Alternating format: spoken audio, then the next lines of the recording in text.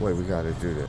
So where's the envelopes? With the crackers. What the heck? Envelopes the are always with the crackers. Why the envelopes with the crackers? That's where they go. Shut up! I love you. That was dumb.